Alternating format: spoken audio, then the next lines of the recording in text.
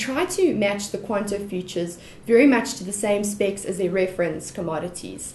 Because um, basically, what we did is we looked at um, the exchanges overseas. We looked at COMEX for gold and, and copper. We looked at NYMEX for the Brent. We said, how are those contracts spec Those are the big contracts that investors are looking at, and we try to spec ours very, very similarly to those. So that's why we have those multipliers, the certain tick sizes, um, the expiries. It's just to, to link it to the international market as much as possible.